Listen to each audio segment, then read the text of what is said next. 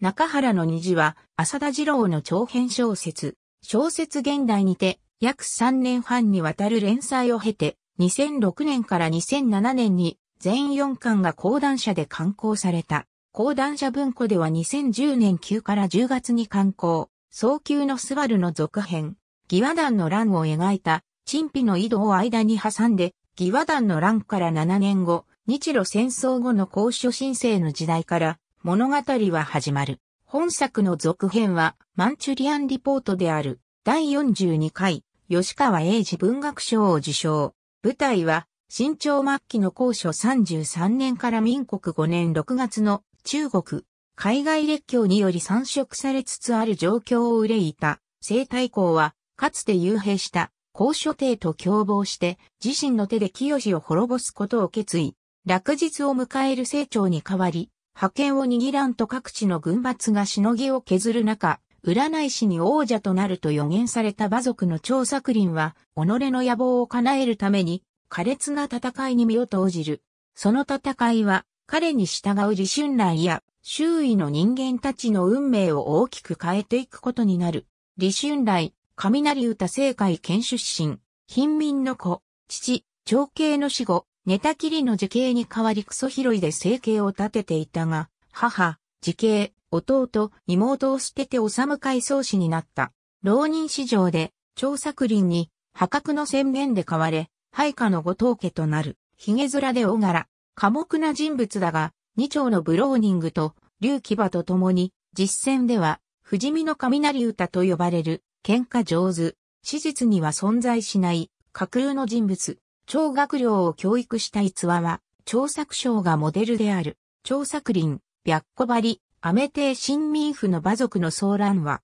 1875年3月19日から1928年6月4日、鬼でも、フッツでもねえ。俺様は、超作林だ。モーゼルと白馬が自慢。小柄、色白、二重眼で、女のように美しいと描写されるが、知力胆力に優れ、敵には冷酷無比である。占い師の白代々から、いずれ、満州の王者になると予言され、満州の祖祖を祀る、営業から天命を示す、竜玉を手に入れる。法典での住居だった長子水府は、一般公開されている。1920年7月14日に勃発した安直戦争で、法典派の張作林が直令派を救援するために、館内に大軍を投入した。超学領、環境、張作林の息子。幼いながらも気候自然とした風貌で、多数の家庭教師をつけられて、勉学に励む聡明な少年。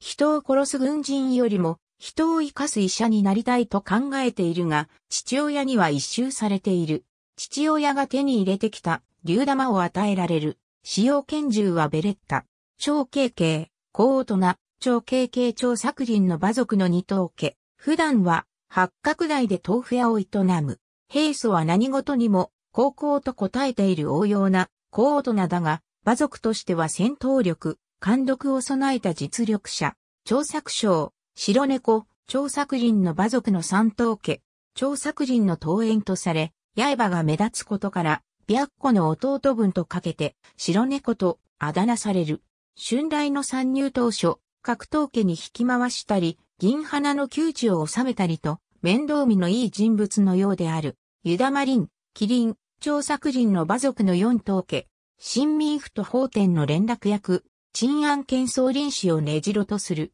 馬仙山、周法張作人の馬族のパオ当時、張作林配下の先駆けを自負する。15歳の時に、去る事情から恋女房の森三義を捨てたが、その後も探し続けていた。森三義家族の死後、流浪の末に馬仙山の道守るとなる、三三と呼ばれる、帝君風馬仙山と森三義の息子、銀下、張作人の家で家事をしている、苦労人の女性、春来の少子で家事をしていたが、後に夫婦になる、生太公生太公直成長第九代皇帝皆、豊か帝の日、実施である第十代皇帝同地帝と老いの新朝第十一代皇帝公書帝を据えて、水蓮政治を行う。高所24年、高所定の申請のために一度は、岩園へ引退するが、母術の返報の100日後土の犬の政変で復帰。高所定が崩御した11月14日、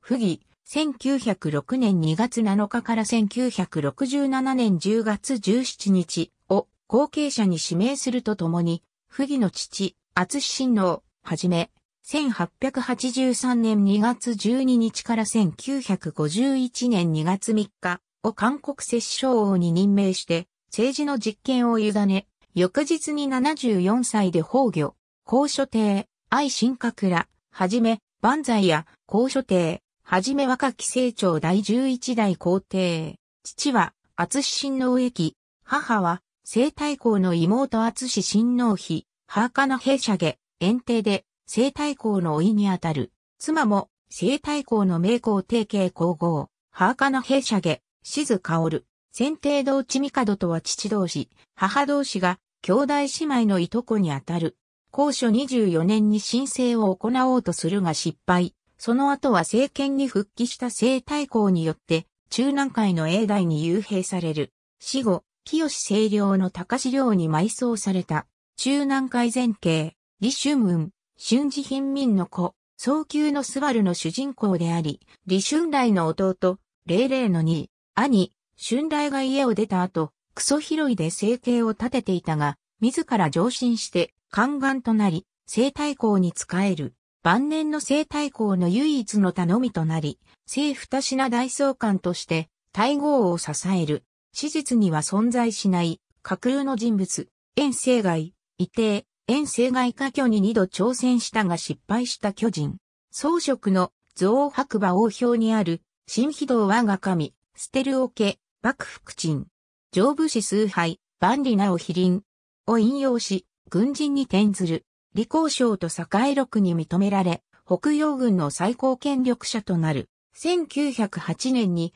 聖太后が病没し、戦闘帝が即位、戦闘帝の父厚志親王、はじめが、摂政王になると、1909年に、はじめは、母術の政変で、兄高所帝を裏切った、遠征外を罷免。遠は3年の間、河南省工場に私服する。1911年、武将放棄が起こり転機を迎え、北京に呼び戻され、兵官線の全門西駅に降り立つ、女性省、菊人、女性省東三省総督、遠征外の腹心、高所12年、科挙に合格、新市、管理員から遠征外配下の新し県陸軍にて、軍人となる、孫中山、孫一戦、孫文孫文革命運動に身を投じた西洋医学を学んだ医師。1866年11月12日から1925年3月12日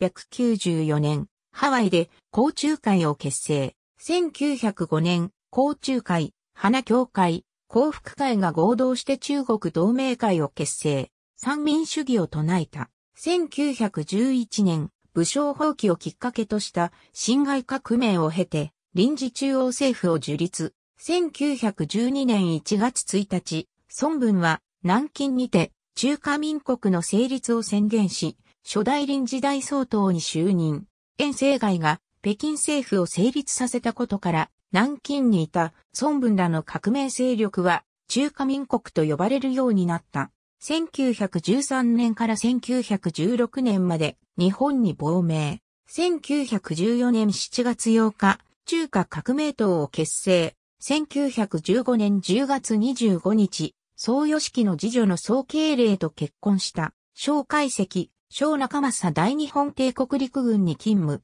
宋教人、徳村、漁夫、宋教人1900年、生院。1903年、花協会結成メンバー。1905年、中国同盟会を結成。1906年、早稲田大学留学生余科を卒業。中華民国、東省議内閣の農林総長、臨時薬法基礎主義改正民主主義を標榜した。革命組織中国同盟会を改組して国民党を組織。1913年、国民党が選挙で勝利。3月、遠征外の意を受けた徴兵人氏が、総教人を暗殺。総教人暗殺がきっかけとなり、第二革命が起こったが、遠征外に鎮圧され、国民党は解散させられて、孫文らは日本へ亡命した。1914年2月27日、長平仁が不審し、総教人暗殺の証拠隠滅を図った遠征外が毒殺したとの説が広く信じられている。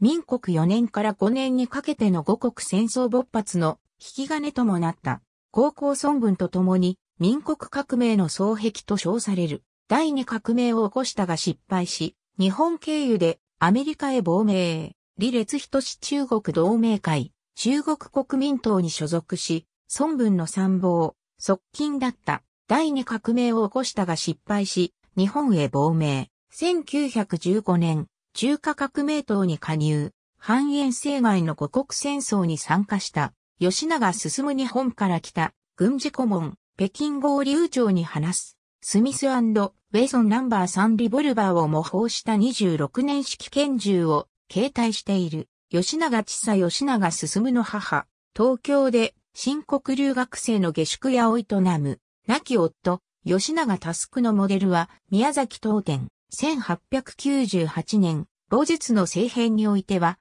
香港に逃れた行為を伴って記帳し、長夜の間に圧旋した逸話が、柳川文秀に用いられている。長寿辰巳1911年3月、鈴寮の公認として、東三省総督に就任、新市、新市公編纂、大栄公、bình 元、源の白白療養の元警察学校教官で、浪人、1872年2月17日から1927年11月1日、調作人の軍師、遠近鎧、清山法典の市議局副議長、新志向編纂、京都林馬族の総乱は、陳はじめ豆、先発北京の街頭で、床屋の見習いをしていたところを北洋軍に入れられる。調作人の司令部付けの当番兵、陸位、靴穂あたり番兵、タクト訪問古族の総乱は、徴用東三世の革命家、岡慶之助、岡慶、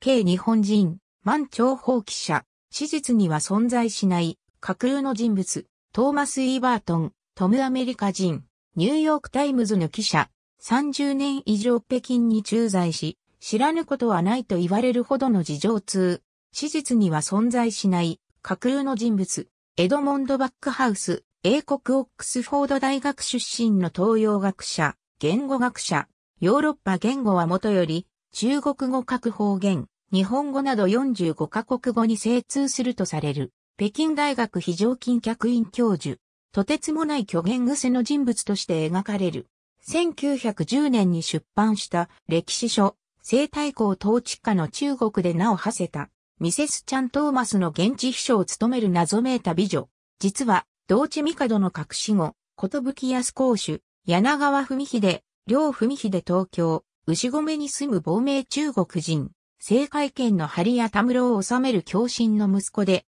高所13年の過去に、第一等上限で、東大した紳士、老術の変更の中心人物であったが、政変に際して、日本に亡命、早稲田大学の教授として新国語と書道を教えている。史実には存在しない架空の人物、モデルは両慶長とされる。歩行派は、辛亥革命以降、立憲派となった。柳川林、李霊霊文秀の妻、春来、春雲の妹、兄たちが家をで、母を亡くした後、文秀のもとで下働きをしていたが、政変の際に、言い名付けの単継道をなくし、文秀の亡命に同行した。史実には存在しない、架空の人物、柳川誠一、両聖一文秀と林の長男、ワンヤンアグダ金の初代皇帝、女神族ワンヤン部の族長、愛新閣ラ務寺公妃都市大祖務寺公妃都市、清の初代皇帝、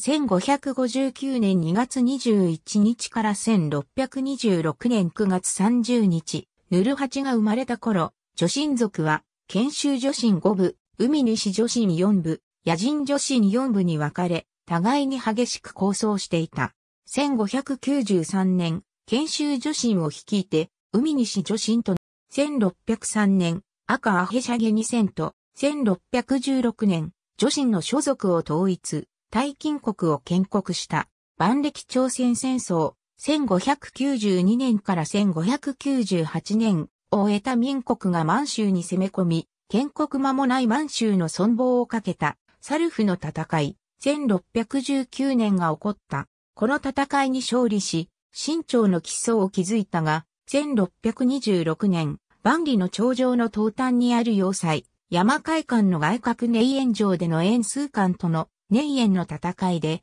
ポルトガル製のクレナイエビス大砲による砲撃で、負傷し死去した。小親王、愛新閣ラノブルジ公人氏ヌルハチの弟、1564年から1611年、アビンと祭事公アキラの実父、ヌルハチとの権力闘争に敗れ、1611年、自宅軟禁されたまま死去。愛新閣ラ著英、ヌルハチの長男、霊神王、愛新閣ラ大前、ヌルハチの次男、アビン、ボーココヤス氏、黒漢没裂と共に四大梅録となった。ドルゴンの母で、オープ人のカラスヘシャゲなヘシャゲ、後萌えから収賄をしていたことが、つとむ事公人氏に発覚し、後萌えは、玉物氏したが、実の弟の大前は殺されなかった。同時代の明朝の宦官、義中権と同様に、収賄をしていたことで、その評価は、必ずしも高くない。皇太極、愛新閣ラグロカン没列、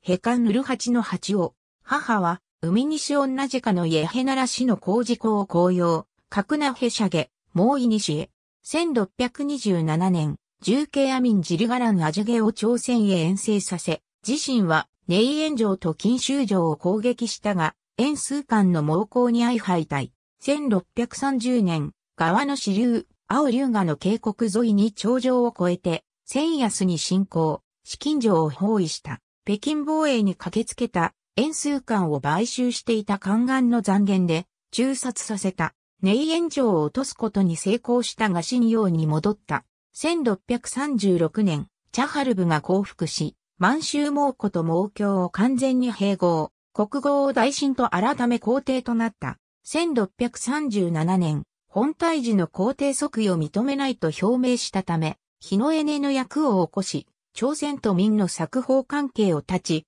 朝鮮を真の作法国とした。1641年、交渉中を捕虜にし、老落して寝返らせた。1643年、拠点を山海岸の向こうに移すこともなく、民の征伐も果たせぬまま休止した。黒陥没列が皇太極を名乗った由来には、定説がない。モンゴル族と女神族を統一する際、モンゴル族のハーンを名乗るためには、チンギス島原理に従いボルジギヌ氏である必要があったことから、統一当時の名前は、皇太極ではなかったと考えられている。また、本体時の本名についての研究にあるように、没列は名前の一部ではないという学説があり、本小説ではその説を採用して、陽明を栄漢と呼んでいる。英神王、愛新閣ラーズミ、閣、ヌルハチの第十二子、1605年から1651年、母は裏、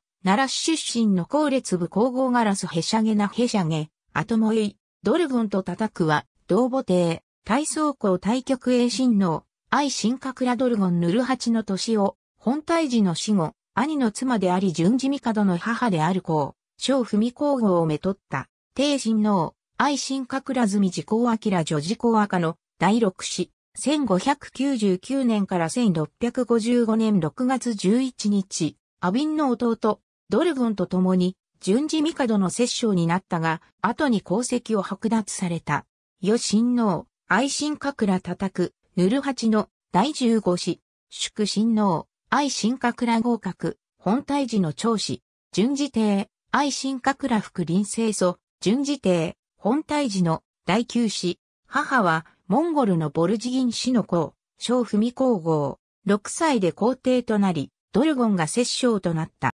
1644年3月19日に、李治世率いる準軍が北京を陥落させ、明を滅ぼすと、5月には清が準を滅ぼし、中国全土を支配した。1661年に24歳で天然痘で急死する。陳国公、愛新閣ら採択英国留学経験のある皇族、総社党、厚志親王、愛新閣らはじめ厚志親王、はじめ二代目厚志親王、戦闘帝の父、高広大号、洋閣のへしゃげ、静薫、皇帝系皇后、皇書帝皇后、戦闘帝の叔母、生体皇の命、戦闘艇、愛新閣ら不義戦闘艇、不義新朝最後の皇帝。生体校の指名により、3歳で即位する。安吉帝、愛新閣ら不春、大赤、祭位の子。生体校により、皇太子に据えられ、皇帝ともなったが、わずか3日後に廃帝となり、皇書帝が復帰した。正式な記録には、皇帝と認められていない。史実では1902年、義和団の乱の戦犯として、蔡位、不春不氏は、新教省に追放されており、北京の四風屯で、文殊郎という煙官をしていた事実はない。子孫に巧妙な画家の愛新閣ら久しいがおり、著書、世紀風雪幻のラストエンペラーで、不春の追放とその後について記している。愛新閣倉義助大日本帝国陸軍士官、学校留学生で、皇族出身の義助は、新朝皇族が頼りとしていた、保守派奏者等の領袖であったが、1912年1月26日、革命派の明家鎮に爆殺された。それをきっかけに、高広大号は戦闘艇の退位を決断した。1912年2月に不義は退位、愛新閣ら広志異梅録、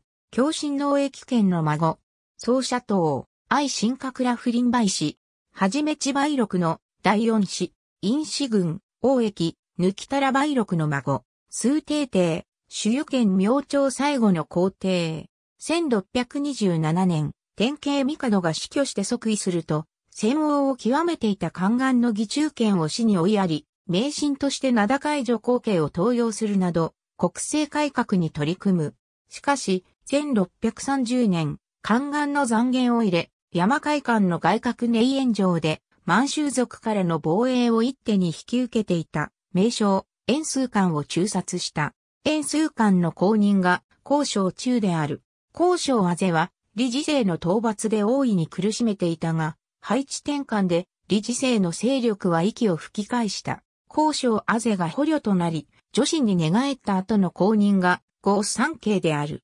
1644年、理事西軍に攻め込まれ、資金城の北にある影山で首を吊って自殺した。明朝滅亡後、帝支流たちは、東欧、首一権を擁立して、南明政権を樹立。帝成功らの抵抗運動は、最終的には、台湾へ逃れていった。王将音数帝帝に仕えた宦官、合三経円数官の死後、両党に、交渉中と共に就任したが、高三慶が敗走し夏聖徳が裏切ったため、広志将あぜは、捕虜となり籠絡されて女神に寝返ったため、その公認として、理事生が民軍を指揮して、山海館で新軍の防備に当たった。1644年、理事生が北平城を陥落させ後三景の目かけ、陳延園を捕らえたことを知るや、山海館を開いて新軍に降りた。ドルゴン軍の先鋒として、理事生軍を破り陳延園を取り戻した。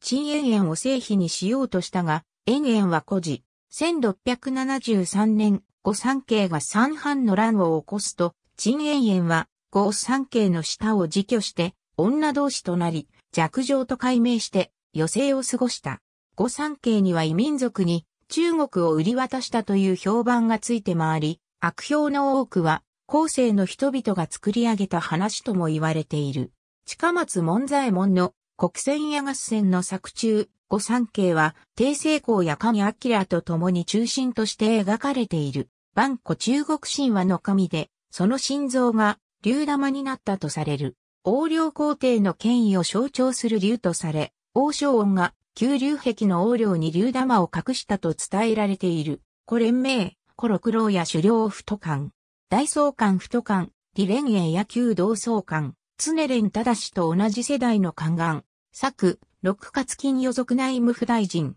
満州世紀旗人、ベレッタ M1915 の製造は1915年からなので、時代交渉を考えると小説中の設定は間違っている。それ以前のイタリア製小型拳銃なら1902年から製造されているグリセン TM1910 が正しい。加藤清正は女神族の国、ダッタンをオラン海と呼んでいる。朝鮮人が北方の未開人を総称して野蛮人、オラン家と呼んでいたことから来ている。芝良太郎の小説、ダッタン疾風録でもオラン海の記載がある。司書では、アトキンと記す。満州語のアイシングルンとは、アイシンカクラ氏の国を意味している。カクラとは、賛成。現在の黒竜交渉イラン県一帯を指す地名で、ヌルハチの祖先発祥の地がその地方のネイコ島であることを示している。したがって、愛新カクラ国とはならない。